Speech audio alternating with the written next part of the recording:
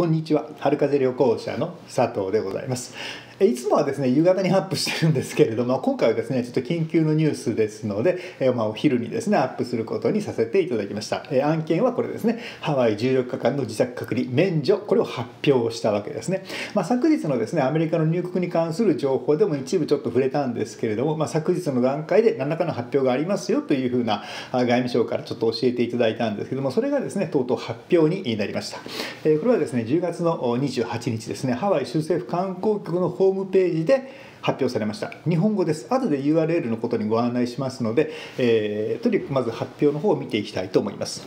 これはですねアメリカではもうすでに10月の半ばからスタートしていたんですけれども指定医療機関で PCR 検査のような検査を受けてその陰性証明があれば14日間の自宅隔離を免除するということなんですけれども海外では初めてですね日本が初めてで日本国内の、まあ、厚生労働省の指定医療機関ですね21箇所の指定医療機関で、まあ、受けた検査の陰性証明書があればいいと。でそれはですね出発の72時間以内になってから受けた陰性証明書というふうな条件がついているんですね。でですねこれ PCR 検査ではないんですよ。これはですね、まあ、よく似てるものってそのうちの一部みたいな感じなんですけれども厚生労働省認可の新型コロナウイルス感染症の拡散増幅検査、まあ、ちょっと細かいことは私もよくわからないんですけれども NAT と呼ばれる、まあ、検査なんだそうです。でこの陰性証明書ですね、まあ、わからない方はですねあの指定医療機関に行かれてハワイに行きたいのでその例の検査をしてくださいと言えば多分医療機関の方はもう分かってると思いますのででですね、この検査の陰性証明書があればあのハワイ到着後ですね14日間の自宅隔離が免除ということなんですね。でこれはですね11月6日のフライトから適用されます日本出発日と現地到着日は同じ日になりますので、えー、帰りはプラス1日翌日ですね、えー、行きは同じ日なので11月6日の、まあ、日本初のフライトからあ、まあ、ご利用いただけるということなんで、まあ、自宅隔離が免除されるということなんですね。でその医療機関の場所なんですけれどもまずこの都道府県だけを簡単に申し上げます、まあ、北海道の札幌市。千葉は千葉市じゃないんですね。鴨川市なんですね。東京はですね中国の他にも新宿区とかいろいろあります。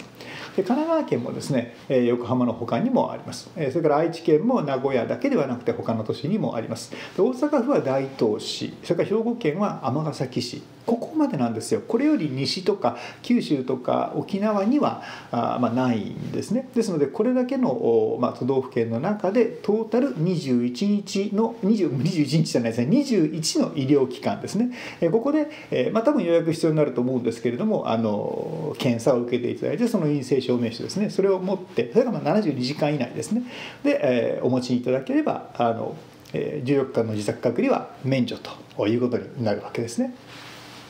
それでですねこの医療機関のリストですね。これがありますのでこの医療機関のリストそのものを貼り付けておきます。説明欄のところですね。医療機関の名前とそしてウェブサイトあとまあ所在地ですね、まあ、あの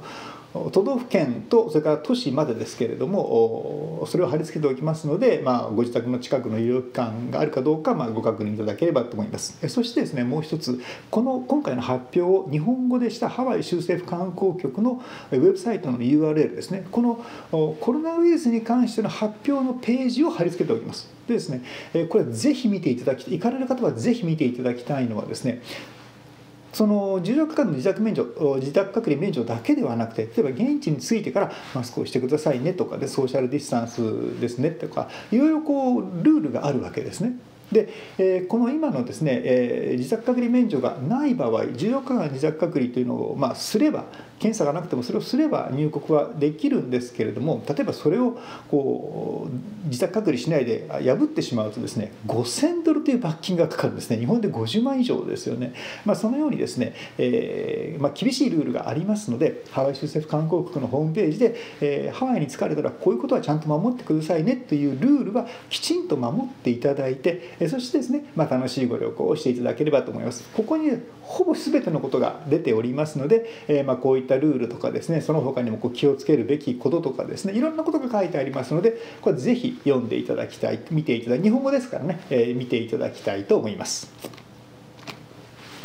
えただまあ行きはよいよい帰りはなんとやらですね。帰ってきてからは PCR 検査があるんですね。そして陰性でもここすごいですね。厳しいですね。陰性でも14日間の自宅隔離ですね。あのハワイは NAT の検査が陰性だと14日隔離はもう免除なんですけども日本はそんなわけにいかないんですね。空港で PCR 検査を受けて14日間の自宅隔離。もちろん空港から自宅までは公共交通機関はご利用いただけないという、まあ、まだそういう厳しい状況ですね、まあ、ただですねあの今回ハワイの方でそういうハワイってほとんど観光客99%観光観光のお客様ですから、まあ、そういった方々に関しての受け入れを日本側も協力したと一応ですねハワイまだレベル3なんですけども、まあ、それでももうほとんどこれもう実態がないようなもんですよね、えー、それでもまあこういったことをすればですねハワイには行けますよっていうこれ厚生労働省がもちろん協力してるわけですよね。でただ帰ってからのこれなのでこれもですね陰性証明があればもういいんじゃないかと思う14日間もいいんじゃないかと思うんですけども、まあ、まだこれが効いているということなわけですね。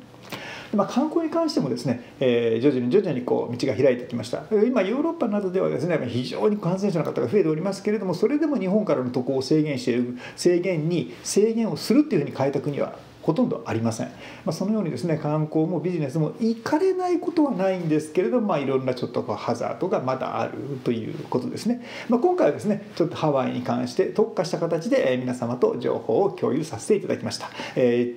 ー、その14日間の自宅隔離が免除される NAT 検査東京のあ東京ほかですね指定医療機関21箇所で受けることができます。出発の72時間前に72時間以内になってからの陰性証明が必要です、えー、どうぞあの先ほどのですねハワイ州政府観光局のホームページを必ず行かれる方は必ずご確認ください。